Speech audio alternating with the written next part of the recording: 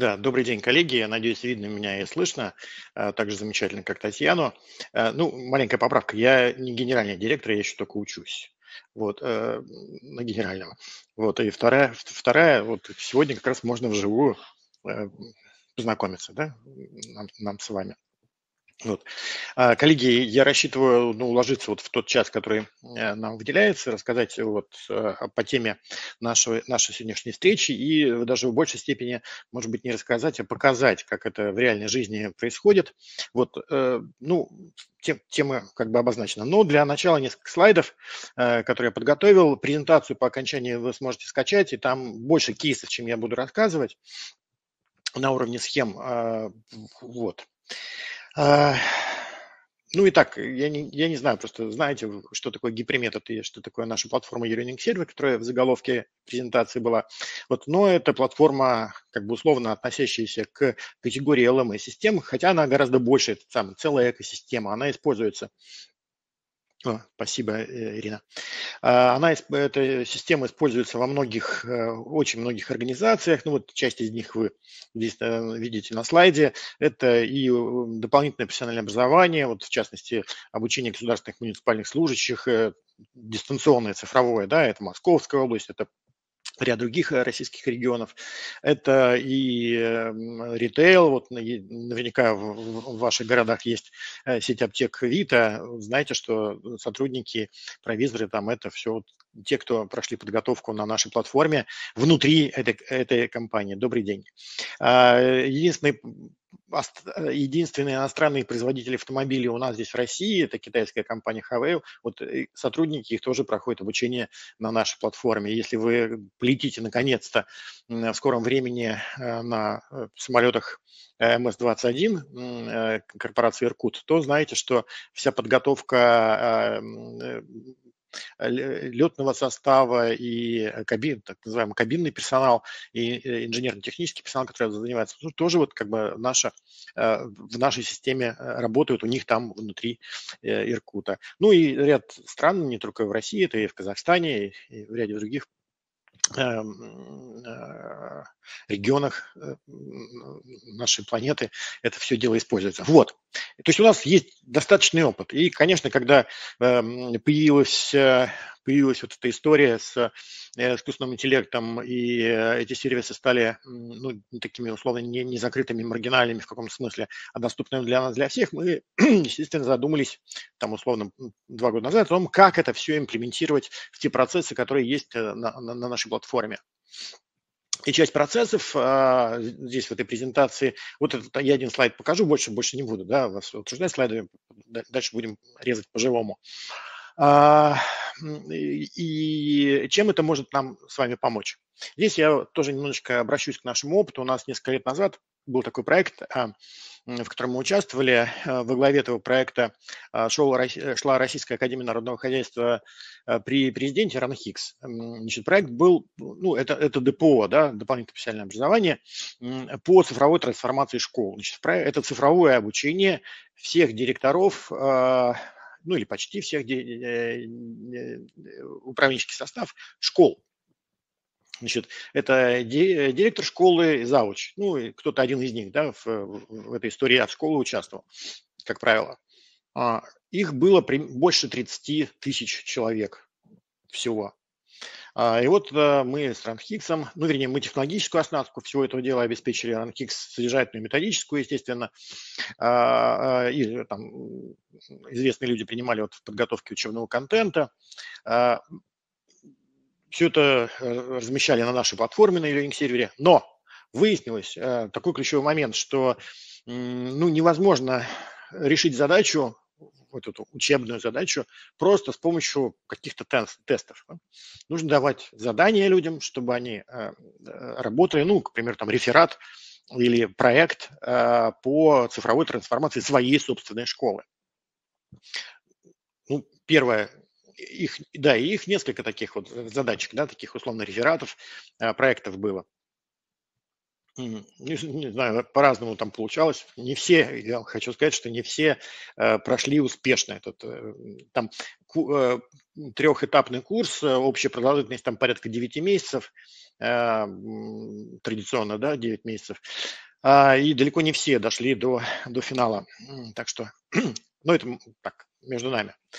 Значит, э, и вот э, выяснилось, что таких, таких задач, которые они, заданий, которые они должны сделать, ну, условно, творческих, да, их несколько, 3-4. А, ну и вы представляете, какой объем работы. Если каждая, каждый э, проект по трансформации школы, мало того, что он контекстен, то есть как, про конкретную школу, так он еще достаточно объемен. Это ну, несколько, ну, больше 10 страниц, грубо говоря, да, все это дело. Их несколько на протяжении вот этих 9 месяцев, ну, штуки 3-4. То есть это порядка 100 тысяч работ, которые кто-то должен проверить. А, кто-то должен проверить эти работы, а команда со стороны Ранхикса, вот основное ядро команды, да, непривлекаемые лекторы, а, составляла три человека всего. А, и, ну, а как это сделать? И тогда значит, привлекли такую методику, которая называется peer-to-peer оценивание. Наверняка вы, кто связан, да, знает, что это такое. В двух словах, это тогда, когда, допустим, я слушатель, я написал эту работу, ее кто-то проверил, сейчас за скобки выносим, но работы, э, но мне начинают попад... Э, на проверку, как слушателю, попадают чужие работы ну, допустим, три штуки, я их должен оценить. И, так, и, и каждая работа попадает минимум к трем слушателям. И если их оценки сходятся, э, то тогда ну, работа там, соответствующим образом оценивается. Если не сходятся, там ну, некие другие процессы запускаются. То есть задача проверки перекладывается там, с некими мотивационными фишками на а, непосредственно те же а, людей, кто а, эти работы пишет. Это большой сложный процесс. Представляете, эти 100 тысяч работы нужно перемещать автоматически между этими людьми. А, кто-нибудь там что-нибудь забудет. В общем, это большая технически не, далеко не простая штука. Но, тем не менее, вот так все это было организовано, так все это прошло. Когда появилось, появились сервисы искусственного интеллекта, мы подумали, а как бы нам упростить решение подобных задач? Не обязательно этой, но подобных задач. Ведь основная, э, основная штука – она, э, то есть мы, конечно, не доверяем да, искусственному интеллекту и не доверяем ему до сих пор, это, это понятно. Но, по крайней мере, какую-то черновую работу э, искусственный интеллект сделать может. Хотя бы распределить на какие-то группы, да, какие-то целевые группы, с которыми уже работать можно будет более э, персонализированно. И вот, ну, вы знаете, что а, много уже систем, которые позволяют там создавать тесты на основании контента, это тоже у нас есть внутри. А, и мы решили сделать так. А почему бы нам не решить задачу вот какую? Ведь э, учебная задача – это а, когда вот человек сдает реферат, там слушатель, нам важно понять, он вообще разбирается в том материале, который он, то есть он а, за него ответственен же, да? Это означает, что он разобрался в этом всем деле. И не столь важно, а, прошу меня простить э, людей, кто э, связан с библиотеками напрямую, да, но не столь важно с точки зрения учебного процесса, именно в контексте предметной области, не, не библиотечного дела, а насколько соблюдены правила цитирования. Да? Ну, у нас есть у всех, э, мы знаем, там антиплагиат, который проверяет и так далее. Ну, это, все, это все правильно. Но он не, антиплагиат – это не учебная задача, да, это там задача там, совсем несколько другая. Для нас с вами, как для преподавателя, а я тоже, кстати говоря, в прошлом доцент одного из крупных петербургских вузов, основная эта задача в другом заключается, в том, чтобы а, были усвоены знания и, а, и приобретены какие-то умения. Вот, поэтому мы придумали такую штуку. Мы тесты создаем на лету по тем материалам, которые сдают слушатели. Эти тесты тут же прилетают к ним, и если я, как слушатель, взял где-то просто, ну, прошу прощения, стырил, да, свистнул и какие другие там, нехороший человек, а, э, стал нехорошим человеком, да, минус мне в карму, но я у кого-то взял чужой реферат и выдал его за свой, сдал преподавателю на проверку, то, то скорее всего, я не очень, не, не догоняю, что там написано. Да? А, ну, то есть моя самооценка будет явно завышена в этом плане. Я думаю, что там все правильно, и я, я, я, вроде как бы это моя работа. На самом деле мы можем это проверить с вами. То есть на лету создаются контрольные вопросы, которые выдаются слушателю тут же, да, и он на них отвечает в определенный лимит времени. На основании ответов на э, вопросы создаются искусственным интеллектом по тому контенту, который он задал, не, не какой-то там другой. А, ну и, соответственно, а, мы в итоге можем сепарировать или разделить на несколько групп а, слушателей, которые уверенно отвечают быстро на те вопросы, которые Э, им предлагает искусственный интеллект, и на тех, кто не очень уверен, и тех, кто вообще не отвечает. Да? Соответственно, для нас с вами э, часть, по крайней мере, значимую часть работы может проделать искусственный интеллект. Вот, э, это примерно вот здесь на слайде. Здесь на других слайдах другие процессы нарисованы, но вы сможете и без меня на них посмотреть. А сейчас, наверное, задача моя показать вам вживую, как это дело происходит. Сейчас попробую расширить. Можете пока задавать вопросы, если вдруг по самой идее, да? Так. Э, демонстрация экрана. Окно. Угу. Так, э, ну, подскажите, да, видно там мой экранчик, да? Да, спасибо большое. Значит, э, побольше его сделаю.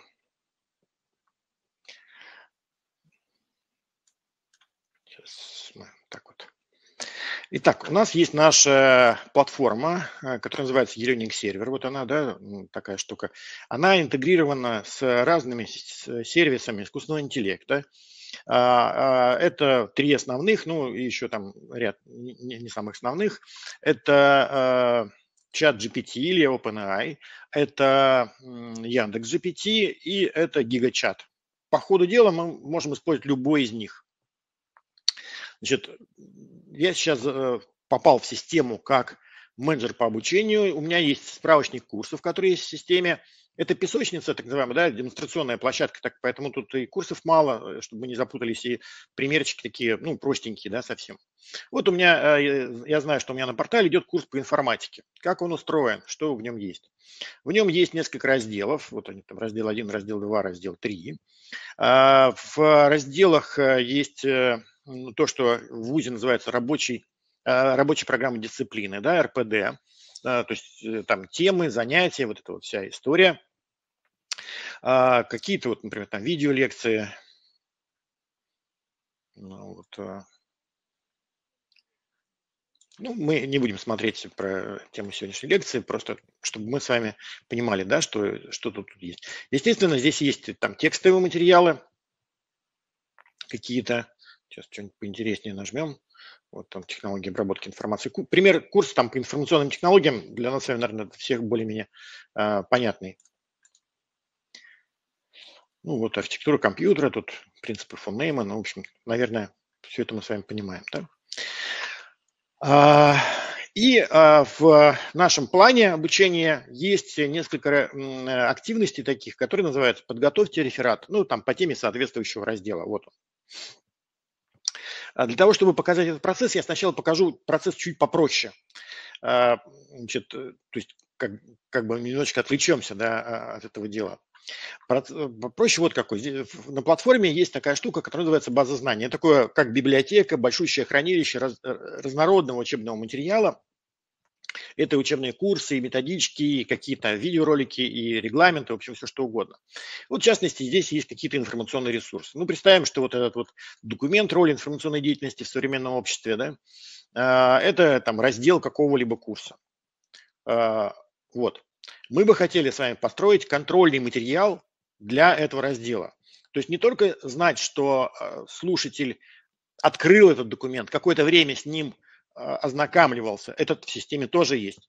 Но мы хотим с вами создать тест или контрольные материалы по этому конкретному документу. А, соответственно, здесь есть такой интерфейс, который позволяет это сделать. Выбрать тот сервис, который э, я считаю более предпочтителен динамически, то есть, опять же, чат GPT или э, гигачат или Яндекс GPT сформировать промпт. На самом деле он фактически формируется автоматически, да, вот, вот тут промпт, да, наш с вами. Отредактировать этот промпт, если я специалист по, а, по а, условно промптостроению, да, но если я не специалист, то я даже и не знаю, что такое промпт, и мне не нужно это знать. И вот пока я говорил, я просто уже нажал кнопочку, и вы видите, что по э, данному документу система сформировала три, ну, потому что здесь вот есть циферка 3, да, если мы там поставили бы 5 или 33, соответственно, было бы большее количество вопросов. Э, несколько ключевых вопросов. Там, что включает в себя предмет информатики, варианты ответов, э, верный подсвечен вот жирненьким шрифтом, да, ну и остальные вариантики, которые здесь тоже появились. А, это мог быть, э, может быть одиночный выбор, может быть множественный выбор, уж как там сам а, искусственный интеллект нам здесь э, подсказывает. Сохранить, и тогда к этому материалу будет прикреплен тест а, на знание соответствующего материала. То есть мы сразу автоматически получаем и, и учебный ресурс, и контрольные вопросы к нему. Эти контрольные вопросы мы можем тут же ну, неким образом, прощения, отредактировать, ну, там что-то написать, уписать, добавить варианты, убавить варианты, пере, переформулировать, если считаем, что э, искусственный интеллект нам немножечко некорректно что-либо сделал или вне контекста. Вот э, как бы это базовый принцип. Да? Сейчас вернемся к нашим рефератам. А, так, давайте. Ну, не, не будем сохранять наш тест, да, чтобы не заклонять. Итак, вот у нас наш есть с вами курс информатика. А в этом курсе есть раздел номер два. Подготовьте реферат по разделу 2. Ну, там персональный компьютер, ну, там применение современных технологий. А, сам, а, э, само задание, может, оно может иметь варианты, то есть там в группе из 25 человек э, кому-то попадется вариант номер один задания, кому-то вариант номер два, кому-то вариант номер три формулировки. Вот. Ну, в нашем случае тут народ немного, поэтому только один. Значит, ну, там, опишите, опишите роль информатики в вашей жизни. Ну, там, приведите какие-то примеры. А, мы сейчас смотрим на, на это дело все как преподаватель, да, как, как тренер, тьютер, ведущий да, учебного процесса или как менеджер по обучению. А, у нас есть а, журнал, а, то есть наша учебная группа. Вот она. Да? Э, куда включены Иванов, Петров, Сидоров, ну и меня тоже заодно туда кооптировали, которые уже, э, у которых есть вот этот учебный план, который мы видели на пред, чуть-чуть раньше, да, и вот наша тема 2, 2 подготовьте реферат по разделу 1. Здесь никаких оценочек еще нет, э, соответственно, да. А, и у нас с вами есть на главной странице такой вот виджет, который показывает по какому курсу, какие задания выданы, на которые э, слушатели должны э, выполнять, какое количество ответов получено, э, какое количество работ сдано и как, как, как, какая эм, итоговая оценка выставлена да, вот в нашем случае. Вот наш реферат по разделу 2. Здесь также присутствует такая, как бы условно, мониторинг да, происходящего э, при работе с заданиями. Вот, э, теперь посмотрим, как это выглядит со стороны а, наших, наших слушателей. Курсы информатика. Значит, у нас с вами есть слушатели. А, вот э, возьмем, к примеру, Иванова. Да? Вот он здесь первый в списке попался. А, вводим от его имени и посмотрим, что видит наш с вами Иванов. Это его личный кабинет. Здесь есть какие-то рекомендованные курсы. Кстати говоря, там тоже используется система искусственного интеллекта, но это тема отдельная, э, и в презентации чуть-чуть она там затронута, вы сможете увидеть. Значит, э, есть э, план Иванова на сегодня. Вот Иванов, кстати можно на него посмотреть внимательно. Да, вот он, знакомое вам лицо, все его знают. А, в том числе вот есть такое задание, которое он выполнить должен в течение суток. Подготовьте реферат по разделу 2. Ну, Попробуем выполнить. А, задание, которое мы уже с вами видели. А, и дальше э, у меня есть возможность, как у Иванова, либо задать вопрос уточняющий преподавателю, ну, типа чата, да, будет, э, как бы здесь такая основная метафора э, коммуникатора, значит, просто там прокомментировать, либо сдать сразу на проверку. То есть я, допустим, пообщался с преподавателем здесь и подготовил некий реферат, здесь я могу его, э, соответственно, э, сдать к сожалению, я вот я расшарил такое окошечко браузера, ну, и ну, не видите, да, его, значит, есть тут документ, э, ну, понятно, что сейчас мы не будем писать реферат, ну, в общем, не, некий текстовый, текстовый документ, будем считать, что он реферат. Поэтому возьмем просто, загрузим сюда наш с вами документ. Сейчас его найдем у меня файловой системе. Значит, роль информационной деятельности. А, вот он, загрузился и отправим его сразу непосредственно на проверку. Вот он отправлен. Роль информационной деятельности в современном обществе. Так, сейчас, секундочку. Я в вардовке взял, да, ну, а, так. Ну и для, для, для разнообразия там PDF там. Теперь вернемся к нашему преподавателю. Что увидит наш преподаватель? Я сейчас показываю ручной режим, потом объясню, как это все можно там, ускорить. Э, показываю для того, чтобы мы с вами основные принципы да, поняли. Соответственно, э, в нашем плане занятий, вот эта вот подготовка реферата, да, можем посмотреть на результаты. А, вот наш Иван Иванов. Он подготовил решение на проверку. Значит, э, и мы можем с вами посмотреть, что же за решение он там подготовил. Вот он нам сдал два документа. Там, значит, роль информационной деятельности в современном обществе. Соответственно, а, наша с вами теперь задача пока что не автоматически, а в ручном а, режиме создать тест на знание Ивановым своей же работы. Вот он тут э, как бы тоже, ну, допустим, три вопроса. Принцип тот же самый, как мы с вами создавали э, тесты для э, контроля какого-либо материала. Только в данном случае э, чуть-чуть подольше, потому что тексты побольше. Вот также э, три вопроса э, выделены, да, э, поскольку мы задали. Что здесь важно, на что бы я обратил внимание? В нашем с вами случае мы, система знает, если это вуз, на каком курсе учится Иванов. Система знает, на какой дисциплине, а, а, по какой дисциплине он сдает. Он знает, по какой он специальности сдает да, э, этот реферат. Поэтому в содержании промта, который отправляется в систему искусственного интеллекта, может быть э, автоматически добавлена информация вот об этом контексте. То есть о том, а, так называемом цифровом следе. Да? Кто же такой Иванов? И эти вопросы будут персональные для него. Вот это тоже важный момент. Время, момент. Ну, э, значит, сохраняем.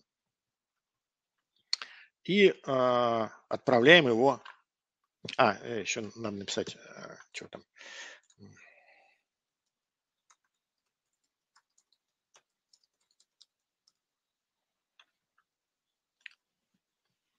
Вот Отправили ему тест на знание своей работы. А, вернемся к нашему Иванову. Посмотрим, что же будет делать Иванов.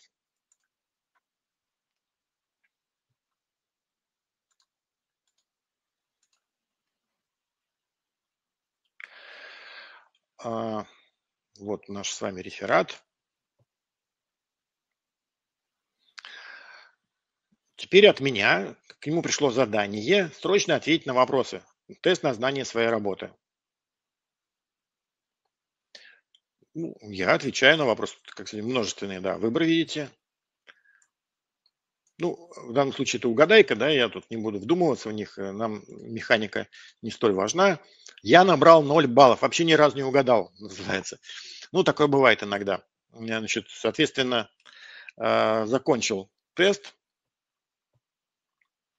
Э, мы видим, что я его прошел на 0%, то есть вообще, ну, ну явно не, не знаю, что там такое, да, я написал, вот. А, ну, пишу, сдал. Ну. А, простое сообщение.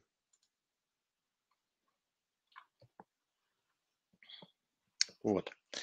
А теперь последний шаг. Вернемся к нашему преподавателю, который э, должен выставить по итогам оценку. План занятий. Результаты нашего с вами э, сдачи реферата.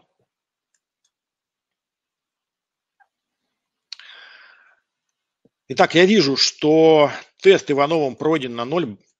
На, ну, Иванов говорит, что он сдал этот, этот реферат, да, что делать? Поэтому мы с вами можем теперь поставить оценку. Ну, естественно, оценка будет у нас какая, как вы думаете? Ну, 2 поставим. А, все, выставлено 2. А, теперь мы можем а, в журнале увидеть, что Иванова по теме 2.2 выставлено 2. Ну, так повезло э, товарищу Иванову. А вот основной принцип я там, продемонстрировал, связанный с э, возможностью проверки, ну, такой сепарированной, да, э, работ. Что происходит дальше? Ну, ну, вот на презентации, на схемке вы там можете увидеть, что дальше можно запустить процесс э, детализации. Например, если значит, там понятно, выделяются условно три группы товарищей, э, слушателей. Кто категорически не сдал, как я в данном случае, кто категорически сдал, то есть полностью, и может быть какая-то переходная группа. Э, там, э, на один вопрос какой-нибудь ответил неверно. Тогда мы можем для вот этой группы, которая, ну, условно, в серой зоне находится, автоматически генерировать дополнительные вопросы тут же, да, тем самым, ну, сепарируя их в конечном счете на, на, на две, на двоечников условно и наших, э, э, тех, кого мы поощряем. А в целом, а мы сейчас посмотрели по одному человеку, но а, в целом это так называемая масс, массовая операция, когда вот все эти шаги, которые мы сейчас с вами делали, может автоматически система сама выполнять. То есть неважно, сколько мы, у нас там 4 человека в группе, или 44, или 444, или 4000. Как только человек сдает работу из этих 4000, ему сразу прилетают вот такие автоматически генерированные вопросы. У преподавателя всегда есть возможность контролировать и мониторить происходящее, но э, зато мы с вами себе э, в значительной степени можем сократить объем нашей работы, потому что много что из этой работы делает за нас с вами искусственный интеллект. Вот э, так, пример номер один из этой серии, да? Вернее, даже уже два, потому что первый раз я показал, как на основании содержимого на лету делаются контрольные вопросы, и мы учли теперь, что теперь не только на основании содержимого, но и контекста, то есть э, того субъекта, по отношению к которому эти вопросы задаются, это все тоже может быть учтено вот в примере с рефератами. Э, если есть вопросы, коллеги, сейчас я посмотрю в чате, там что-нибудь появилось или нет, э, и перейдем тогда к следующему примеру.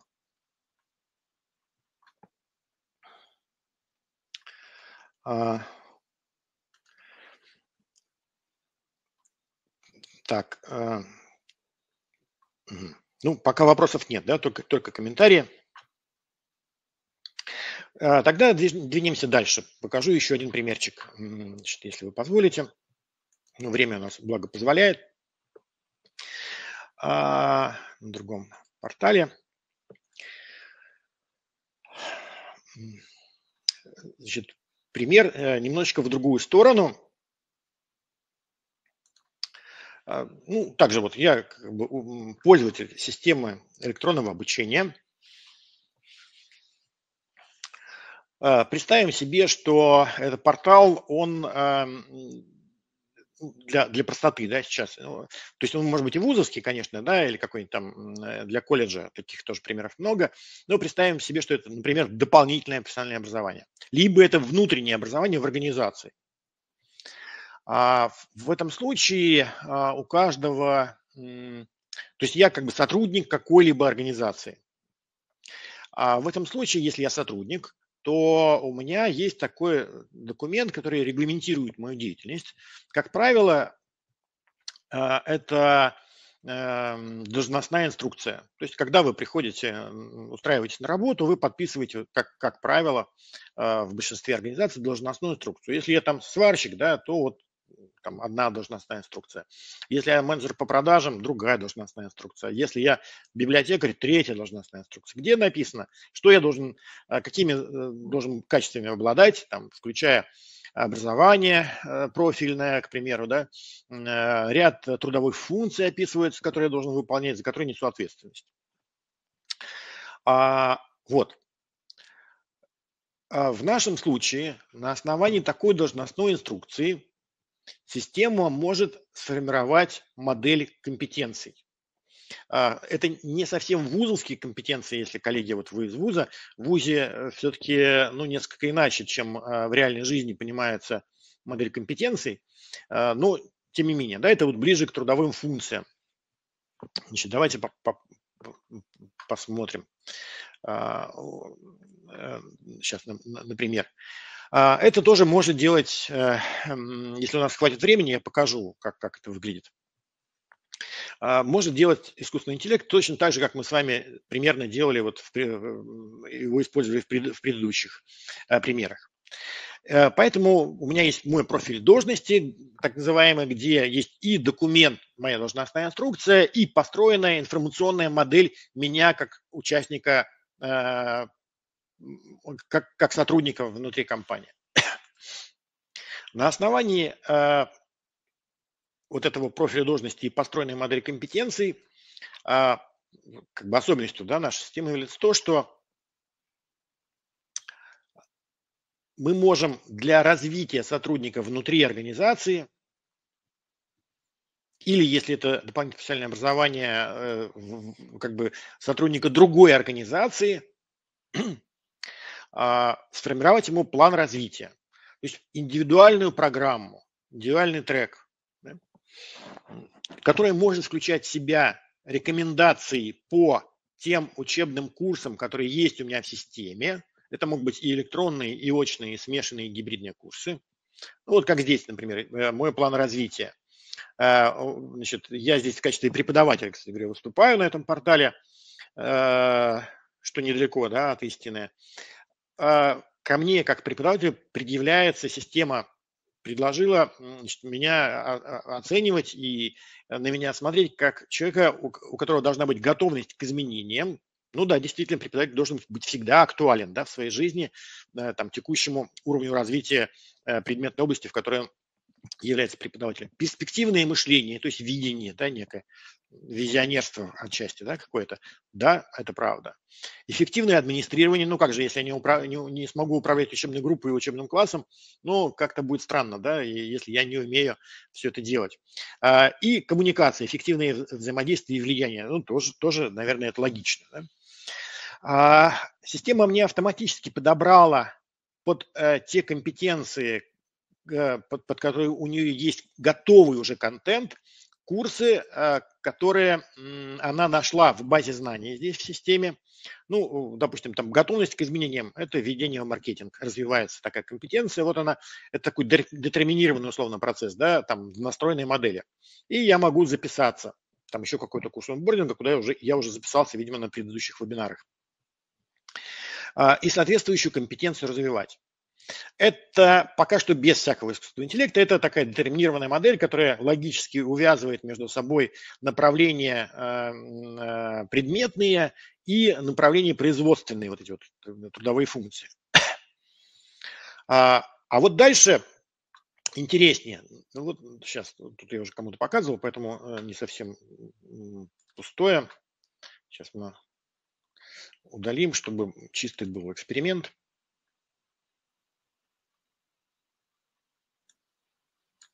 Лишнее. Итак, вот у нас есть готовность, э, компетенция, которая называется готовность к изменениям. А, и я бы хотел попросить систему составить для меня рекомендации по развитию этой моей компетенции. Видно, что вот она, готовность к изменениям, у меня не очень развита, да, на, на двоечку по пятибалльной шкале, а здесь вот она развита перспективное мышление. Соответственно, а, я или мой руководитель или э, наставник сейчас не, не суть важно, обращается к системе искусственного интеллекта. А, я вижу, что я выступаю в роли преподавателя, хочу развивать готовность к изменениям. Как мне это делать? Хорошо, когда в, на портале электронного обучения уже есть какие-то курсы соответствующие, да, ну, там, курс по готовности к изменениям. А вот если их нет, или, например, когда вы только что развернули э, систему управления обучением, и она еще пустая, в ней ничего нет, а, а делать что-то уже нужно, ведь если у вас э, там много сотрудников, понятно, что таких вот компетенций будут, будут сотни или тысячи, и, соответственно, э, уйдут годы на то, чтобы просто закрыть тот объем информации, те, те потребности в развитии, которые есть готовым учебным контентом. А он еще и будет устаревать по мере того, как вы его сюда как, э, как вы его сюда кладете. Три года развивали систему, через три года уже информация, положенная э, в начале, э, должна быть пересмотрена, потому что все ушло вперед. Так вот, э, мы с вами можем сгенерировать здесь рекомендации для сотрудника, в данном случае преподавателя, по развитию готовности к изменениям с помощью системы искусственного интеллекта. Опять же, подчеркну, это там OpenAI, GigaChat или, или Яндекс.GPT. С учетом конкретного человека. Это не, э, то есть эти рекомендации контекстные. Опять же, вот этот цифровой след учитывается возраст, э, развитие, э, должность, в которой он занимает, позиция, история его здесь пребывания, да, что он там развивал, что не развивал, и какие результаты были получены.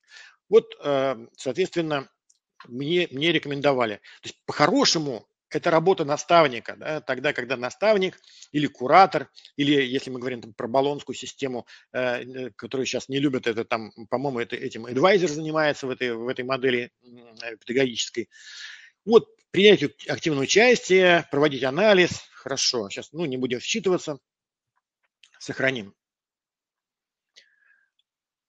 Итак, теперь у нас появились вот такие рекомендации. Они у меня в моем личном кабинете, в моем развитии. Если я э, не понимаю каких-то вещей, ну, к примеру, э, ну, например, что такое анализ своих реакций на изменения в рабочем процессе то я могу расшифровать дополнительно, а, то есть создать учебный контент, который позволит мне развиться и в этом направлении. Да? Сохраняем. И рекурсивно и далее да, сохранить. То есть вот у нас появилось э, значит, э, ну, комментарий, к которому мы можем перейти, который мы только что с вами создали. А, еще раз подчеркну, что это нам дает? Это нам дает возможность, даже если система только установлена пустая, но уже и пользоваться с определенной степенью эффективности, я имею в виду LMS-систему. Более того, вот этот контент, который мы с вами генерируем, он через некоторое время, ну, там, через сессию, да, а, определенную, в том случае, если мы увидели, что сотрудник действительно, у него вот эти вот показатели изменились, он действительно эти рекомендации работают, мы можем их условно зафиксировать и поместить в базу знаний. Тогда в следующий раз это, то есть такой удачный контент может быть повторно использован для э, развития других таких же сотрудников да, с похожим, с похожим, прошу прощения, диагнозом. А, вот э, такая штука. При этом а, это, а, вот пример я приводил сейчас из области, ну, такой, скажем, внутреннего обучения в организациях, компаниях. Ну, вы помните, там, да, у нас в портфеле есть и государственные муниципальные служащие, и там производство, и ритейл и там фармацевтика, но эта схема, она работает, э, я сейчас ее ну, в неком таком э, экспресс-варианте да, вам показал, для того, чтобы можно было просто быстро на это посмотреть все, э, на эти принципы. Эта схема работает и для дополнительного профессионального образования. Эта схема работает даже для э, школьного образования тогда, когда школьник выбирает, а куда же ему двигаться дальше, в какую сторону ему развиваться он может найти вот эти рекомендации, система может ему подготовить в зависимости от того, от той целевой функции, куда он, он движется. А, И, естественно, в ВУЗе тогда просто у нас с вами терминологически вот эта модель компетенции выстраивается под направление обучения, под специальность, под конкретный курс обучения, да, период обучения. Вот такая, так, такая, такая штука. Коллеги, есть ли какие-либо вопросы? Сейчас загляну в, наш, в нашу комнату вебинарную. А, ну вот возник вопрос. А, спрашивает Татьяна, насколько можно доверять искусственному интеллекту? Не может возникнуть конфликт между студентом, честно выполнившим работу, и э, искусственным интеллектом, некорректно составившим вопросы? Может. Э, для этого, при том вероятность такого конфликта, она разная для разных предметных областей. Это общая беда искусственного интеллекта, у него там возникают галлюцинации, так называемые, да, вот из этой серии. Э, значит, э, во-первых, как вы видели, на каждом из этапов э, моей демонстрации у меня была возможность первое, контролировать тот промежуточный результат, который получается. То есть я видел, что было сгенерировано перед тем, как это попадет к конечному потребителю, к пользователю. Второе, корректировать. То есть я мог вносить исправления, правки в контрольные материалы, которые были подготовлены, в сам промпт, если я считаю, что там что-то неправильно сформулировано, там количество вопросов, да, вот, вот вся вот эта история, она вся мониторится и контролируется. Это дает нам возможность управлять этим процессом. Это как бы первое. Второе. Ну, есть общая статистика, которая говорит о том, что, конечно, э, там текущие версии системы искусственного интеллекта не дотягивают до а, высокопрофессиональных, а, ну, в нашем случае, там, педагогов. Да? А, но согласитесь, что в среде образователей, неважно это школьное образование, вузовское или дополнительное профессиональное образование, педагоги очень разные. И есть большое количество тренеров, преподавателей, которые и даже до этого уровня не дотягивают. И в этом смысле мы имеем с вами ну, некую такую э, чуть э, усредненную, ну, со знаком плюс, да, систему, потому что мы ее можем контролировать, в отличие от тех людей, э, преподавателей, которых мы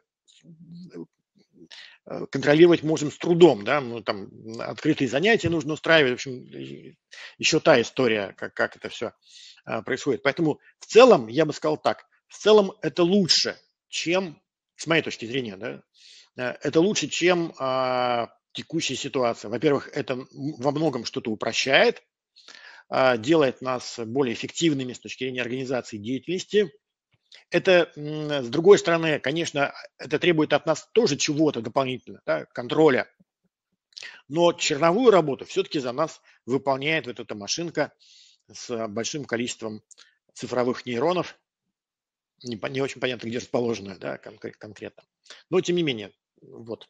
Ну, это раз. Второе, все меняется, все развивается, и через год качество качество контента, которые тех же самых сервисов, но а, чуть-чуть вперед, да, если заглядывать, оно, ну, безусловно, улучшается. И тут, э, эм, как бы, отвергая что-либо в этой истории, мы понимаем, что мы теряем в каком-то смысле будущее, да, и потом наверстать это будет достаточно тяжело. Вот. А дальше Мари, Марина Соболева спрашивает, чем данная платформа отличается от Moodle помимо внедрения а, э, системы искусственного интеллекта. Ну, а, как бы вам сказать, отличий много, и я вам, я в конце вебинара дам ссылочки на материалы, это видеоматериалы, в первую очередь, где вы сможете посмотреть, как там работают в системе, или там записаться к нам на вебинар, мы там их регулярно по средам проводим, как раз следующий вебинар у нас в следующую среду будет э, не в Директ Академии, а вот в Гиперметоде, про а, вот нашу платформу. Там подробнее можно будет про это э, рассказать. Значит, э, безусловно, и Moodle, и Learning Server, и куча других систем относятся к категории систем управления обучением или LMS, и они решают ну, в целом схожие задачи организации управления учебным процессом, организации формирования контента и так далее. Но много действительно и отличий. Э, в первую очередь, э, там, Learning сервер – это один из элементов большой экосистемы Э, обучения и развития. Ну, к примеру, у нас там есть облачный редактор электронных курсов, электронного контента, который тоже включает в себя э, поддержку системы искусственного интеллекта. Вы там можете просто сказать цели обучения, ну, я сейчас немножечко утрирую, тем не менее, и вам предложится программа обучения, э, в ней вы сможете сгенерировать учебный контент, ну, то есть вот на работу по созданию курса уходит там раза в три меньше времени, чем это обычно. А, ну и много других тоже как бы вкусностей. А, вот. А, и поэтому еще раз кому любопытно, в конце я публикую ссылочки, да, и приходите к нам тоже на вебинары. Я надеюсь, Директ Академия будет не сильно против. Тем более, что каждый год мы вот, на протяжении уже двух, двух лет совместно устраиваем конференцию, посвященную обучению, развитию, искусственному интеллекту. Предыдущий э, год она проходила в Санкт-Петербурге в период белых ночей. Последний раз в этом году она проходила в Москве. Э, поэтому я думаю, что на портале Директ Академии вы тоже можете найти много там э, записей непосредственно самой, самой вот этой конференции. А, еще вопрос. Система – это отечественная разработка или в основе лежат те, которые могут оказаться под санкциями? Это отечественная разработка, абсолютно отечественная разработка. Она, ну, к примеру, вот я приводил э, там, государственные муниципальные служащие, да, но э, среди наших заказчиков и там, где используется система это, этого электронного обучения, например, это обучение экипажей атомных подводных лодок разных проектов или обучение экипажей э, летного состава и инженерного состава э, самолетов такой марки, как Сухой, например, Су-30 или Як-130. Да? Там вообще куча всяких секретных материалов, поэтому э, находится в, в, внутри цифрового, цифрового этого контура. Поэтому, да, это проверено спецслужбами. Да? А, Все, вот. А, ну, тут комментарии про будущих учителей. Да, эм, да кстати говоря, ряд э, э, организаций, которые проводят обучение при подготовке, вернее, да, повышение квалификации преподавателей, тоже используют э, наш Еленик сервер. Там и Екатеринбург, и какие-то другие города. Вот, э, что у нас тут по времени? В принципе, да, наш часик заканчивается. Э, наверное, сейчас публикую ссылки, где у меня тут они приготовлены были.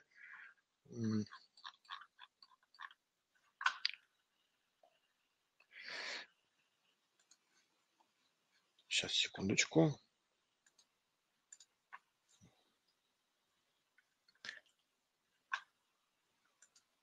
Так, а, это то, это с чего мы там делали реферат. А, так, секунду, сейчас, э, пока, пока пишите вопросы, а я ссылочки найду и а, публикую.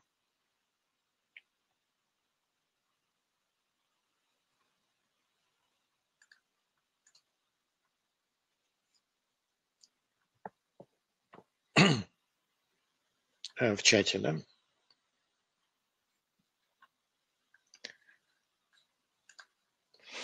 Так, вот ссылочка номер раз.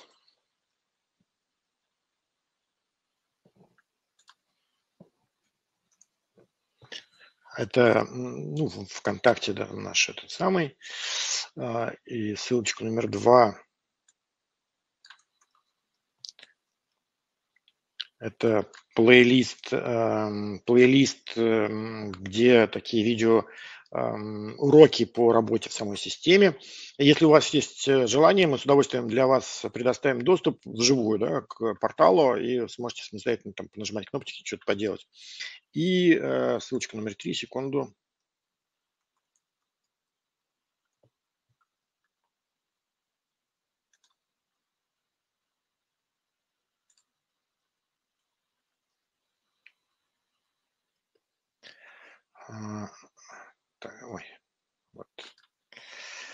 Это а, как бы наш вебинар в следующую среду, где, где мы проводим как раз про а, обзор вот нашей платформы, про которую мы с вами в качестве, в контексте искусственного интеллекта только только что говорили. Так, ой, я не туда ссылку отослал сейчас.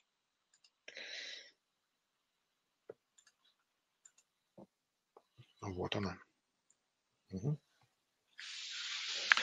Вот, коллеги, вам большое спасибо за внимание, за то, что вы нашли время повидаться вживую, как теперь принято говорить. Да?